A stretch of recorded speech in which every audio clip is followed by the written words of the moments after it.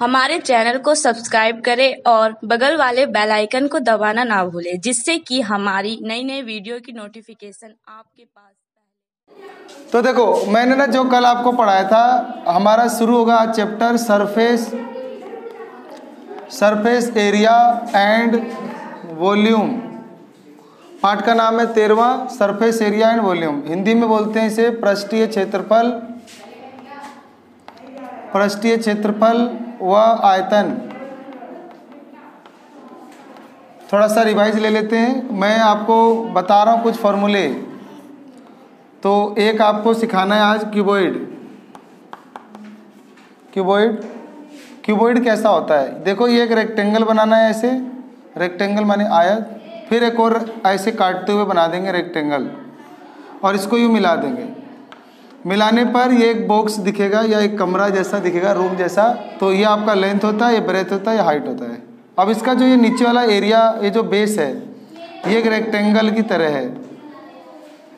अब क्योंकि इसका बेस एक रेक्टेंगल है तो इसका एरिया याद कर लेंगे। इसका एरिया होता है लेंथ इंटू ब्रेथ और इसका पेरीमीटर होता है दो ब्रैकेट लेंथ प्लस ब्रेथ तो इसका जो क्षेत्रफल होता है, वो होता है लंबाई गुना चौड़ाई, आधार का क्षेत्रफल, इसको एरिया ऑफ़ बेस बोलते हैं। तो एरिया ऑफ़ बेस हो जाएगा आपका लेंथ इंटू ब्रेथ और इसका जो पेरीमीटर होगा, परिमाप, वो हो जाएगा दो ब्रैकेट लेंथ प्लस ब्रेथ अच्छा जो कीबोर्ड होता है, इसे हिंदी में घनाप बोलते हैं। अब इसके कुछ कुछ फॉर्मूले याद करना है, जैसे वॉल्यूम इसका वॉल्यूम माने आयतन। आयतन क्या होता है? आयतन होता है कि कोई वस्तु, जैसे कोई सॉलिड है, ये एक बॉक्स एक सॉलिड है, इसके अंदर कोई चीज़ कितना समा सकता है? इसके अंदर कोई पानी, मिट्टी, तेल कितना समा सकता है?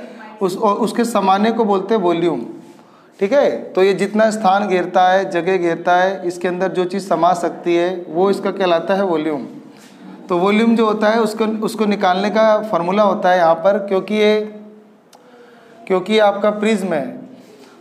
तो प्रिज्म है तो प्रिज्म में क्या होता है कि जैसा बेस होता है, वैसा ही उसका टॉप होता है। तो क्योंकि जैसा बेस होता है, वैसे ही टॉप होता है। तो जो बेस का अगर एरिया है, अगर हमारे बेस का एरिया वो बेस है जो भी, अगर हम उसको उसके हाइट से मल्टीप्लाई कर दें तो आपका वॉल्यूम निकल जाता है। तो वॉल्यूम का फॉर्मूला बना आधार का क्षेत्रफल गुना ऊंचाई। आधार का क्षेत्रफल गुना ऊंचाई। तो यानी लेंथ इंटू ब्रेथ होता है एरिया ऑफ़ बेस इंटू में हाइट तो फार्मूला बन गया length into breadth into height तो अभी आपको ना इस एक्सरसाइज में ना वॉल्यूम का काम नहीं है, लेकिन वॉल्यूम का फार्मूला आना चाहिए। तो वॉल्यूम का फार्मूला हो गया length into breadth into height उसके बाद आपको याद करना होता है कर सरफेस एरिया इसको हम कर सरफेस एरिया को लेटरल सरफेस एरिया भी कह देते हैं। तो लेटरल सरफेस एरिया की जगह एक और नाम होता है area of four wall area of four wall यानी चार दीवारों का क्षेत्रफल। तो हिंदी में हुआ चार दीवारों का क्षेत्रफल, या पश्चिम क्षेत्रफल, या पार्श्व पश्चिम क्षेत्रफल तो इसका फॉर्मूला हो जाता है perimeter of base into height तो perimeter perimeter of base into में हाइट तो यानी हिंदी में हो गया कि आधार का परिमाप और गुना में ऊंचाई. तो आधार का परिमाप मैंने यहाँ पे बताया था, दो ब्रैकेट लेंथ प्लस ब्रेथ और इंटू में हाइट तो ये आपका बन जाता है एरिया ऑफ़ फोर वॉल तो एरिया ऑफ़ फोर वॉल का जो फॉर्मूला है, वो ये हुआ two bracket length plus breadth into में हाइट अब एक चीज़ और याद करना पड़ जाता है हमें टोटल सरफेस एरिया तो जो टोटल सरफेस एरिया होता है इसका, वो होता है ऐसे two bracket L B plus B H plus L H यानी दो ब्रैकेट लंबाई गुना में चौड़ाई फिर चौड़ाई गुना में ऊंचाई और फिर लंबाई गुना में ऊंचाई। अब यहाँ पर डबल भी लगाना होता है। वो इसलिए क्योंकि अगर मैं इसको फैलाऊँगा ना तो फैलाने पे मुझे छः साइडें दिखने लगेंगी। ऐसे छः फर छः फेस दिखेंगी। चार दीवार दिखेंगी और एक फरस और एक छत दिखेगा।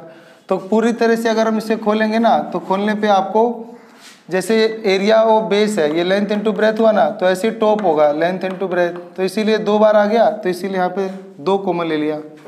ऐसे ये वाला इस दीवार का एरिया निकालेंगे ना तो ब्रेथ इंटू हाइट और इधर वाली जो कोने वाली दीवार निकालेंगे साइड वाली ब्रेथ इंटू हाइट तो ये भी दो बार आ गया, इसीलिए डबल कोमल ले लेंगे। अब एक और रह गया, सामने वाला सामने वाला हो गया लेंथ इंटू ब्रेथ नीचे वाला मैंने लेंथ इंटू ब्रेथ लिया था ना, अब सामने वाला लेंगे तो लेंथ इंटू हाइट तो लेंथ इंटू हाइट सामने वाला, और जो सामने वाली दीवार होगी ना, पीछे वाली, वो भी लेंथ इंटू हाइट तो इसीलिए लेंथ इंटू हाइट जो है, वो दो बार आया। तो दो बार आया आपका लेंथ इंटू ब्रेथ ऊपर नीचे। दो आया ब्रेथ इंटू हाइट किनारे वाले, और दो सामने वाले आए। एक सामने वाले, एक पीछे वाली दीवार आई। उसको बोलेंगे लेंथ इंटू हाइट तो इसीलिए आपका ये फॉर्मूला बना टोटल सरफेस एरिया ये हो गया आपका क्या? क्यूबॉइड ऐसे आपको ना क्यूब याद करना है। क्यूब को हिंदी में घन बोलते हैं। घन में क्या होता है कि सभी भुजाएँ जो होती हैं, वो बराबर साइज़ की होती हैं। इसकी जो लेंथ है ब्रेथ है हाइट है, वो सारी की सारी समान साइज़ की होती है। तो इसकी जो लेंथ है ब्रेथ है हाइट है, सारी ना समान होती हैं। तो यहाँ पर आपका लेंथ हो जाएगा, वो भी सेम ब्रेथ भी सेम और हाइट भी तीनों सेम हो गया। इसीलिए ये भी है ये भी है ये भी है तो हाइट भी है ब्रेथ भी है और लेंथ भी ए इसका ना नीचे वाला जो बेस अगर देखें तो इसका जो नीचे वाला बेस होता है, वो एक होता है स्क्वायर स्क्वायर इसलिए होता है क्योंकि इसकी जो सारी साइड बराबर है। सारी साइड बराबर है, सारे एंगल 90 हैं तो ये नीचे वाला स्क्वायर हो गया। तो इसके एरिया ऑफ़ बेस हो जाएगा आपका ए का स्क्वायर और इसका पैरामीटर जाएगा फोर इंटू साइड ठीक है?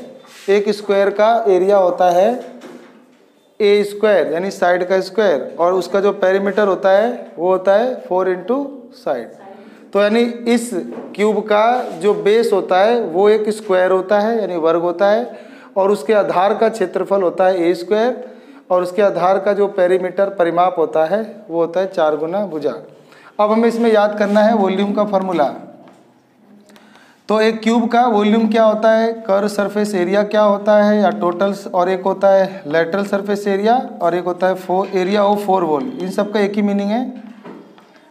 और एक होता है टोटल सरफेस एरिया तो ये बस ये तीन फार्मूले हैं। इस तीन फॉर्मूले को याद करने में ना बच्चे महीने निकाल देते हैं।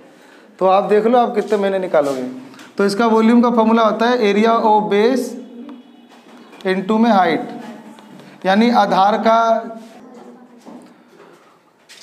तो आगे पढ़ते हैं।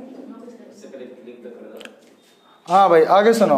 तो इसका वॉल्यूम माने आयतन होता है area of base into height तो इसका एरिया ऑफ़ बेस हो गया ए स्क्वायर और हाइट हो गया, देखो हाइट हो गया ए तो मल्टीप्लाई हो गया ए की क्यू हो गया। तो इसका घन का आयतन हो जाएगा ए की क्यू इसका कर या लेटरल सरफेस एरिया ये सब जो होता है ना lateral surface area curved surface area area of four wall इन सब का एक फार्मूला होता है फोर ए स्क्वायर और टोटल सरफेस एरिया इसको हिंदी बोलते हैं कुल पृष्ठीय क्षेत्रफल, वो होता है सिक्स ए का स्क्वायर तो पहले ना इतना जो फॉर्मूला है, ये अपना नोट कर लेंगे, उसके बाद एक्सरसाइज शुरू करता हूँ। देखो, ये रहा पहला क्वेश्चन ये प्लास्टिक बॉक्स, एक ना प्लास्टिक का बॉक्स है 1.5 मीटर लॉन्ग उसकी जो लंबाई है ना 1.5 मीटर है। फिर आगे लिखा है 1.25 मीटर वाइड 1.25 मीटर चौड़ा है और 65 सेंटीमीटर डीप और उसकी गहराई है 65 सेंटीमीटर। अब थोड़ा ध्यान से देखोगे ना तो पहले दो मीटर में है और तीसरा वाला क्या है? सेंटीमीटर में तो क्या करोगे? सेंटीमीटर को मीटर में बदलोगे तो उसको 100 से डिवाइड कर देना, क्योंकि एक मीटर में 100 सेंटीमीटर होते हैं तो जब हम सेंटीमीटर से मीटर पे जाते हैं, यानी छोटी राशि से बड़ी राशि पे तो डिवाइड देते हैं। तो इसको 100 से डिवाइड दोगे तो 0.65 मीटर आ जाएगा। बोलता है कि एक प्लास्टिक का बक्सा है, जो इतने मीटर लंबा, चौड़ा, ऊँचा है, इसको बनाया गया है। It is open at the top ये ऊपर से खुला हुआ है। Ignore the thickness of plastic sheet आपको प्लास्टिक की सीट की मोटाई को नगड़े मानना है, उसको ना के बराबर मानते हुए। आपको कहता है डिटरमाइन कर दो बस। आपको पहला निकालना है area of sheet require for the box आपको ऐसा बक्सा बनाने में जितना सीट लगता है, उसका एरिया निकालना है और बक्सा कैसा बनाना है? ऊपर से खुला बनाना है। तो इसमें एरिया ऑफ़ फोर वोल लगा देंगे, चार दीवारों का क्षेत्रफल और एक फरस का क्षेत्रफल लगा देंगे। तो इस फॉर्मूले से हो जाएगा। दूसरा कहता है कॉस्ट ऑफ़ सीट आप ना सीट की लागत बताओ। If a seat measuring one metre square cost is twenty rupees जो सीट बनेगी वो बीस रुपये बीस रुपये पर मीटर स्क्वायर की लागत से मिलेगा तो उसकी कितने खरीदने की लागत आएगी वो भी निकालना है। तो मैं कर कर, कर करके बता दूँ थोड़ा सा अपना ऐसे बॉक्स बना लिया मान लो। बॉक्स बनाया ये ऊपर से खुला बोल रखा है तो इसको बनाना है। तो इसका एरिया कितना लगेगा? तो इसका एरिया हो जाएगा एरिया ऑफ़ सीट यानी सीट का एरिया हो जाएगा एरिया ऑफ़ फोर वॉल क्योंकि ऊपर से तो चलो खुला बनाना है लेकिन यहाँ चार दीवारों से गत्ता लगाना पड़ेगा। या सीट लगाना पड़ेगा और नीचे भी आपको सीट लगाना पड़ेगा। तो आपको एरिया ऑफ़ फोर वॉल निकालना होगा और प्लस एरिया ऑफ़ फ्लोर यानी फर्श का एरिया को बेस भी कहते हैं।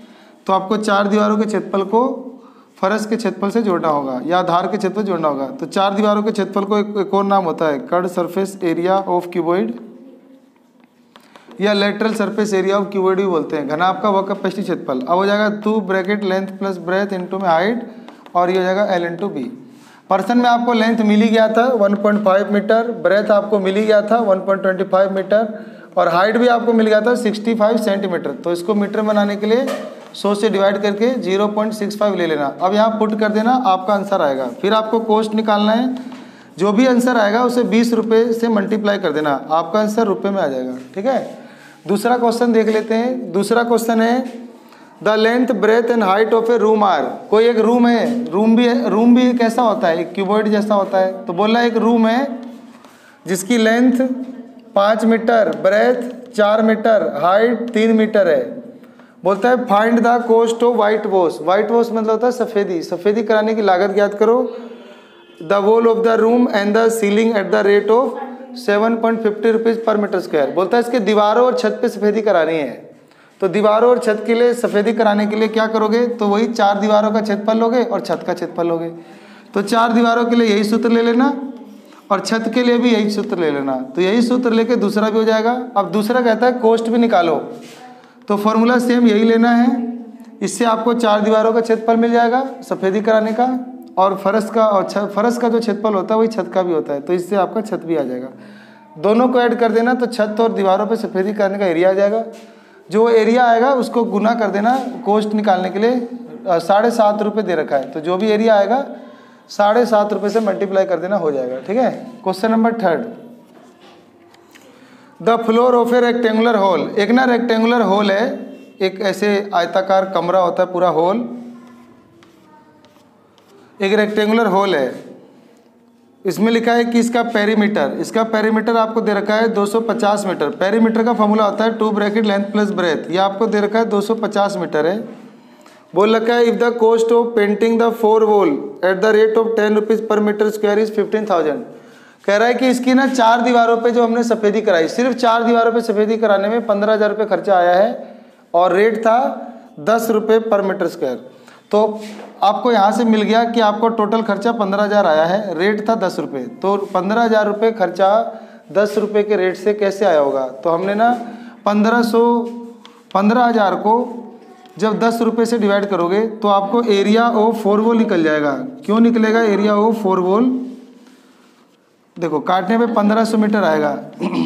देखो 1500 जो मीटर है, हमने इतने ही दीवारों पे सफ़ेदी करवाई होगी। तो एक मीटर का दाम क्या लिखा था? दस रुपये तो 1500 मीटर स्क्वायर पे हमने सफ़ेदी कराई होगी दस रुपये के हिसाब से। तभी ना दस रुपये गुना करके पंद्रह हज़ार रुपये का बिल आया है। तो पंद्रह हज़ार को उल्टा आप दस से भाग कर दोगे तो पंद्रह सौ रुपये आ जाएगा। बात को समझो मान लो मैं ना कोई सामान खरीदने गया और मैं डेढ़ सौ रुपये में दस सामान लाया तो बताओ एक सामान कितने का था? मैं ना डेढ़ सौ रुपये लेके गया और दस सामान लाया। तो मतलब एक सामान कितने का था? तो पंद्रह डिवाइड करके किया ना तो ऐसे ये दीवार की सफ़ेदी की बात कर रहा है कि हमने कहीं चार दीवारों पे सफ़ेदी करवाई और सफ़ेदी में खर्चा आ गया पंद्रह हज़ार रुपये तो पंद्रह हज़ार रुपये खर्चा आया रेट था दस रुपये पर मीटर, यानी एक मीटर का दस ही रुपये खर्चा था। तो डिवाइड देने पे हमने सफ़ेदी चार दीवारों पे कराई पंद्रह सौ। तो चार दीवारों की सफ़ेदी का क्षेत्रफल आ गया? यानी आपका एरिया ऑफ़ फोरवॉल आ गया पंद्रह सौ। अब इसके बाद हमें बोला कहा था कि चार दीवारों का क्षेत्रफल आ गया तो बोलता है हाइट बताओ। पर्सन पूछा था हाइट बताओ। देखो मैं पढ़ देता हूँ। कहता है find the height of the wall आपको इसकी हाइट निकालनी है। तो जो ये चार दीवारों का क्षेत्रफल आया है इसको लेटरल सरफेस एरिया भी बोलते हैं। यानी इसको घनाभ का वक्र पैसी क्षेत्रफल भी बोलते हैं। इसका फॉर्मूला होता है perimeter of base into height इसका फॉर्मूला क्या होता है? Perimeter of base into height ये आपका पंद्रह सौ आया। पेरीमीटर देखो, आपको दे रखा था ढाई सौ मीटर तो यहाँ पे आप ढाई सौ लगाओगे और गुना में हाइट निकालना है। अब ना ये ढाई सौ बटे में चला जाएगा। तो हाइट निकालने के लिए पंद्रह सौ के बटे में ढाई सौ चला जाएगा और ये कट के आ जाएगा छः मीटर। तो होल की ऊंचाई कितना जाएगा? छः मीटर। तो ये हमारा तीन क्वेश्चन हो गए। ये आप अपना ट्राई करना, हो जाएगा। हाँ तो देखो, एक अगला क्वेश्चन है the paint in a container contain sorry certain container किसी निश्चित बर्तन में कुछ पेंट रखा हुआ है। अब वो बर्तन पता नहीं कैसा है, लेकिन किसी भी बर्तन में एक पेंट रखा हुआ है। तो कहता है कि is sufficient to paint an area equal to 9.375 metre की स्क्वायर बोलता है, ये पेंट इतना काफ़ी है कि ये ना नौ दशमलव तीन सात पाँच मीटर स्क्वायर पे पेंट कर सकता है। इतने एरिया पे तो पेंट कर ही सकता है वो पेंट फिर बोलता है कि पता करो how many bricks of dimension 22.5 centimetre 10 centimetre और 7.5 centimetre can be painted out of this container अगर हम उस बर्तन में से कुछ पेंट को निकाल के ईंटों पे पेंट करना शुरू कर दें तो बताओ, अगर कोई एक ईंट की जिसका साइज़ लेंथ ब्रेंथ हाइट इतना हो तो कितनी ईंटों को पेंट कर सकते हैं? तो पर्सन है कि एक पेंट है, उससे हम नौ पॉइंट तीन सात पाँच मीटर स्क्वायर पे पेंट कर सकते हैं।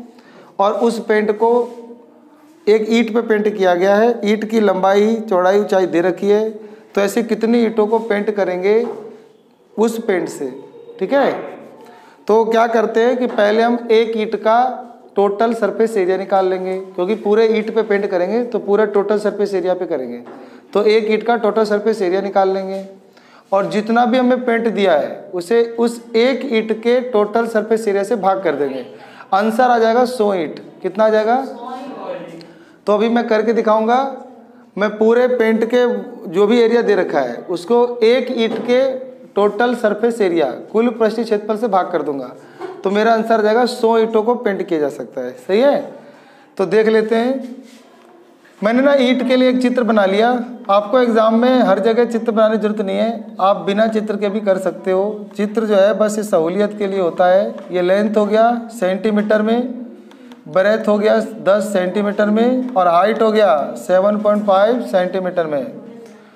तो अब ये सेंटीमीटर में है और मुझे बोल रखा था कि किसी कंटेनर में, किसी बर्तन में, अब वो बर्तन पता नहीं कैसा दिखता होगा। कहता है, उस बर्तन में, मैं मान लेता हूँ बर्तन ऐसा होगा, इस बर्तन से हम इतने एरिया पे पेंट कर सकते हैं। नौ दशमलव तीन सात पाँच मीटर के स्क्वायर एरिया पे पेंट कर सकते हैं। तो हमें बोल था कि फाइंड करो कि how many how many bricks how many bricks of dimensions how many bricks can be painted हम कितने ईटों को पेंट कर सकते हैं? हम कितने ईटों को पेंट कर सकते हैं, ये पता करना था। तो हम पहले क्या करेंगे? पहले निकालेंगे total surface area of a brick brick माने ईंट। तो हम पहले निकाल लेंगे एक ईंट का कुल पृष्ठीय क्षेत्रफल। तो एक ईंट का कुल पृष्ठीय क्षेत्रफल आ जाता है two bracket L B plus B H plus L H ये जो फार्मूला का चुनाव किया है हमने हमने ये मान के किया है कि जो ईंट होता है वो कैसा दिखता होगा? तो सबको पता है वो एक क्यूबॉइड दिखता है घनाभ दिखता है। इसीलिए ये वाला फार्मूला लिया है।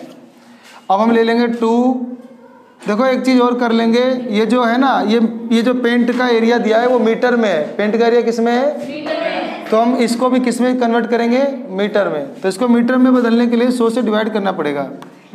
तो बाईस पॉइंट पाँच इसके डिवाइड में सौ ले लेंगे। दस के डिवाइड में सौ ले लेंगे और सेवन पॉइंट फाइव के भी डिवाइड में सौ ले लेंगे, ताकि ये क्या बन गए? मीटर। तो अब मैं इसका टोटल सरफेस एरिया निकाल के दिखाता हूँ। टू लेंथ इंटू ब्रेथ तो लेंथ मेरा कितना है? तो twenty two point five upon में हंड्रेड मल्टीप्लाई टेन अपॉन में हंड्रेड प्लस टेन अपॉन में हंड्रेड मल्टीप्लाई हाइट हाइट है आपका सेवन पॉइंट फाइव डिवाइड में hundred plus seven point five divide में हंड्रेड मल्टीप्लाई लेंथ लेंथ हो जाता है बाईस दशमलव पाँच बटे में सौ। अब देखो, इन्हें गुना करेंगे। पहले डेसिमल हटाओगे तो नीचे एक टेन और बढ़ जाएगा ज़ीरो यहाँ पे भी आप पॉइंट हटाओगे तो नीचे एक ज़ीरो बढ़ जाएगा। यहाँ पे हटाओगे तो एक ज़ीरो यहाँ और यहाँ हटाओगे तो एक ज़ीरो यहाँ बढ़ जाएगा। अब यहाँ पे टू ब्रैकेट इनको मल्टीप्लाई करोगे। इसको भी आप मल्टीप्लाई करोगे। रुको, ये ना बहुत ज़्यादा ज़ीरो बढ़ गए हैं, इसको काट के छोटा कर लेते हैं। एक ज़ीरो से एक ज़ीरो काट लिया तो 225 बटे में चार ज़ीरो फिर ऐसे ही वाला एक ज़ीरो से एक ज़ीरो कट जाएगा तो जाएगा पिछहत्तर बटे में चार ज़ीरो यहाँ पर भी बहुत ज़्यादा ज़ीरो है। ये आपका पच्चीस से कट जाएगा, पच्चीस या पिछहत्तर, ये जाएगा पच्चीस चौक सौ। तो ये तुम्हारा हो जाएगा तीन पचे पंद्रह का पाँच हासिल किया एक तीन दो छः और एक सात तीन दूनी छः कहाँ तुम्हें गलती लग रहा है? यहाँ पे ना? ये वाला? ये।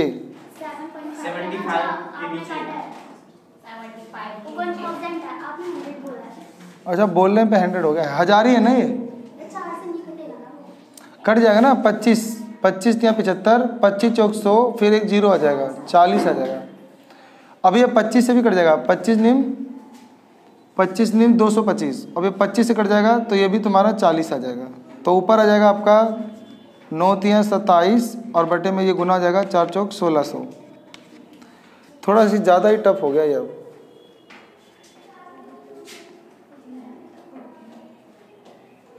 चलो इसको काट देते हैं थोड़ा सा। पच्चीस से इसको, पच्चीस नीम दो सौ पच्चीस पच्चीस से काट दो चार सौ। ये भी पच्चीस कर देगा, पच्चीस या पचहत्तर, और पच्चीस से काटोगे तो ये भी चार सौ।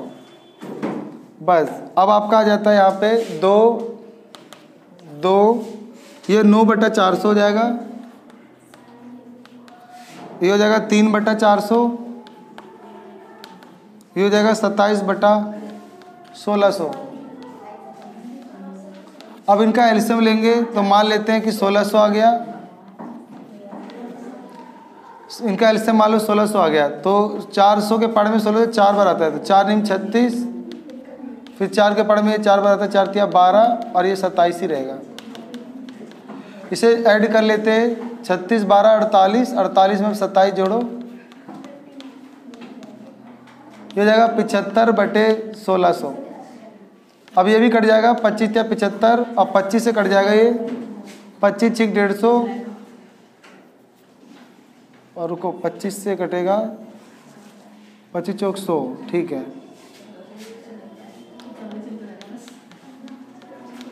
पच्चीस छिक डेढ़ सौ, पच्चीस चौक सौ हाँ चौंसठ आ जाएगा ये तो जाएगा दो से कट जाएगा तो तीन बटा बत्तीस आ जाएगा। ये आ गया मीटर की स्क्वायर। रुक जाओ, कहीं गलती हो गया लगता है। नहीं बनाएँगे कल से। सुनो। अरे देखो, अब ना वो जो आंसर आया है, वो एक ईट के पेंट का एरिया आया है। और हमारे पास इतना सारा पेंट रखा है। अब इतने सारा पेंट है, और उसे बारी बारी से एक एक ईटों पे पेंट करोगे। तो एक ईट सिर्फ़ कितना एरिया कवर करेगा? इतना।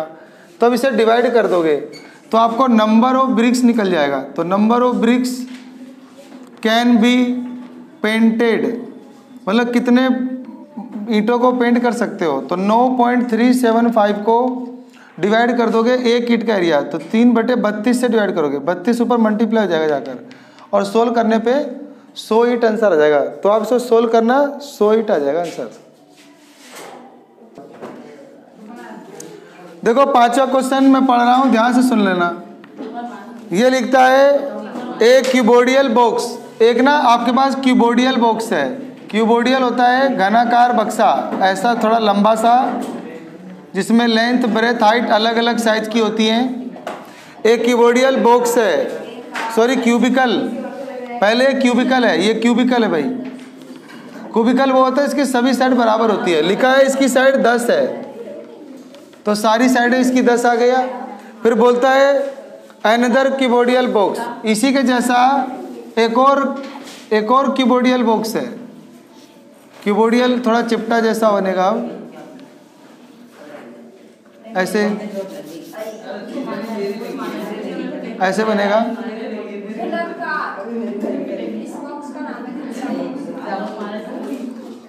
ये क्यूब ये ये क्यूबिकल था और ये वाला लिखा है, ये क्यूबोडिकल है। क्यूबोडियल है। ये क्यूबोडियल बॉक्स है, इसकी लेंथ है 12.5 सेंटीमीटर, ब्रेथ है 10 सेंटीमीटर और इसकी हाइट है 8 सेंटीमीटर। तो इसकी इसकी साइड है 10 10 10 इसकी लेंथ, ब्रेथ हाइट है साढ़े बारह, दस और आठ। अब बोलता है पहला, बताओ which box has greater lateral surface area and how much पहला पूछा है, इन दोनों में से किसका lateral lateral surface area greater है, बड़ा है और कितना बड़ा है हाउ मच तो दोनों का लेटरल सरफेस एरिया निकालना है। तो इसका लेटरल सरफेस एरिया होता है फोर ए स्क्वायर और उसका लेटरल सरफेस एरिया होता है two bracket length plus breadth और इंटू में हाइट तो इसका हो जाएगा four into side ten into ten ये चार सौ आ जाएगा। और इसका निकालोगे two into length plus breadth तो लेंथ हो जाएगा आपका साढ़े बारह ब्रेथ हो जाएगा आपका दस और हाइट हो जाएगा आपका आठ.